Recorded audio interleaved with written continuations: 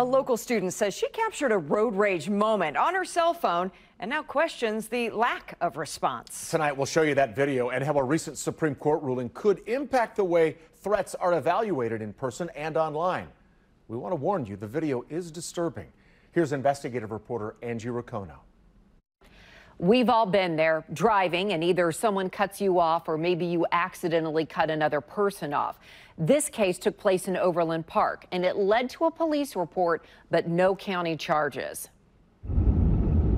It's 9:40 in the morning and Maya Kulmus is driving to class at Johnson County Community College. This man is trying to scare me.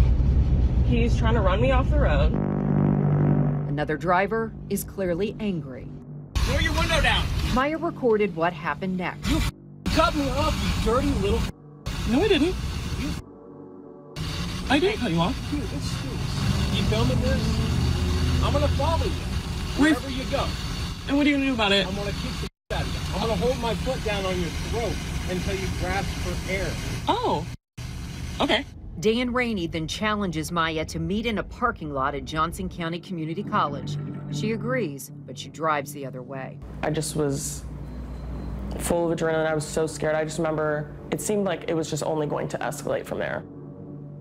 She calls Overland Park Police and heads to campus. They take Maya's statement, and the campus police report reveals they quickly connect with the angry driver. That's because Dan Rainey is an employee at the community college, lead groundskeeper.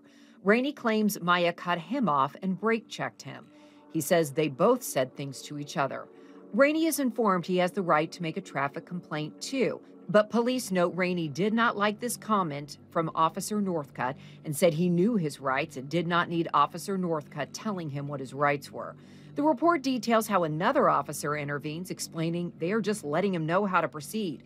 Rainey responds he was not listening to Officer Northcott anymore, and that Officer Northcott could leave. I couldn't even speak. If you're wondering what happened next, well, that's why Maya has gone public, sitting down with a reporter and posting about it on Facebook. Rainey never faced any county charges and was still listed as the lead groundskeeper at Johnson County Community College when KCTV 5 first began looking into this issue. What do you think about that? It's appalling. Again, I just don't understand what about that video is not. Um, it's just abundantly clear. He told me, I'm going to hold my foot down on your throat until you gasp for air. And I'm going to follow you wherever you go. We showed the video to former Jackson County prosecutor Phil LeVota. He is specifically saying he's going to follow her, he's going to step on her neck until she gasps for air, and maybe kick the crap out of her or something. It looks like it, he really means to harm her. LeVota points out prosecutors have discretion when it comes to filing charges. I'm gonna follow you. And video is just one piece of evidence in a case, but it's powerful. An update on a case involving a Colorado singer and stalking. The Supreme Court recently ruled on threats, a 7 2 decision, raising the bar for prosecutors when it comes to threats, highlighting a difference between bluster and true threats. The case dealt with online communications. It's unclear how prosecutors will interpret the ruling when it comes to charges for in person communication. This jerk is screaming things at her.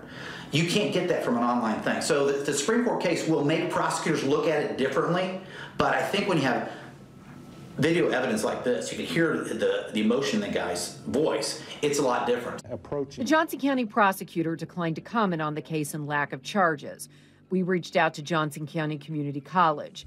They never offered a response concerning their own campus police investigation and behavior of the lead groundskeeper. And the fact that it's not being taken seriously and taken to heart um, is just beyond upsetting. KCTV 5 Investigates recently learned the officer who investigated this case took another route. He brought the case to the municipal prosecutor. Rainey now faces a city charge of disorderly conduct.